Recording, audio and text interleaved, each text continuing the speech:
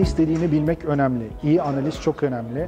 Ee, her şeyden önce CRM projelerinin başarılı olmasındaki başarısız olmasındaki en büyük sebep de gene aslında yetişmiş, eğitimli, kalifiye personel probleminden kaynaklanıyor.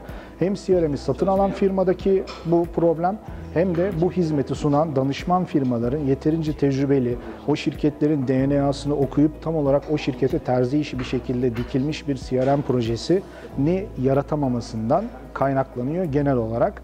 Ve tabii ki CRM satın alma süreçlerinde şöyle bir problem var. Şimdi siz bugün bir cep telefonu aldığınızda marka modelini bilirsiniz. Özellikleri nettir. Hangi marketten, hangi mağazadan veya online sistemden alırsanız alın aynıdır.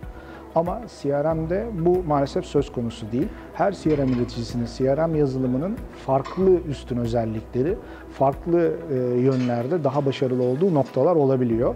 Şirketlerin kendine göre en doğru yazılımı tercih etmesi noktasında da e, çok seçici olması gerekiyor.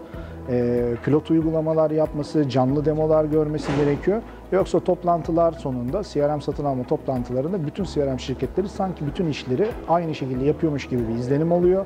Ama aslında realitede öyle değil. Realitede firma gerçekten kullanmaya başladığında hiç de onun DNA'sına uygun olmayan bir e, projeye başlamış olduğunu düşünüyor.